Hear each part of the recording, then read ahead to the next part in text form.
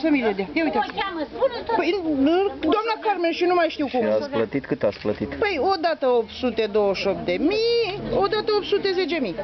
Și adică ați dat toți banii ăștia degeaba? Păi, eu așa cred. Adică așa am înțeles că... Așa este spusă de acum. Așa mi s-a spus de acolo. Și ce o să faceți în cazul Ce o să facem? Dacă o să vă Păi să ceară din plătească nou bani? doamna, că eu din 5 milioane nu pot, nu pot să plătesc din urmă ce a falsificat însă. Că eu iau pensia, mă duc și achit datorile și dacă mai rămâne de mâncare, fac o oală de ciorbă și o mănânc toată săptămâna. Mm. Dacă nu mă mai duc pe la copii.